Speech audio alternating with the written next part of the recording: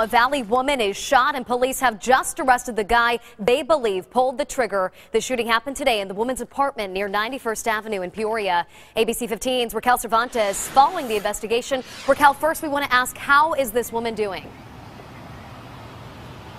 Kim, well, the victim is okay, and that suspect was arrested just within the last hour over here at this home.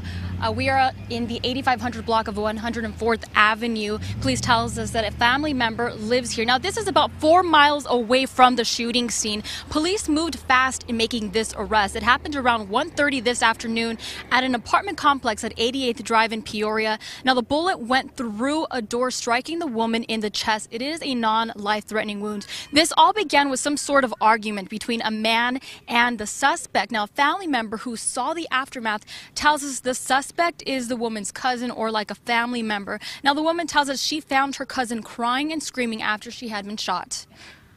I was at home and I heard a gunshot. When I came outside, I saw that man banging on their door and saying, Get out, get out. Now, this one uh, luckily ended with the arrest. The woman is expected to be okay. When the man ran from the scene and went here, people in the neighborhood were able to get his license plate, helping police track him. Live in Peoria, Raquel Cervantes, ABC 15 News. All right, Raquel, thanks for that update. Another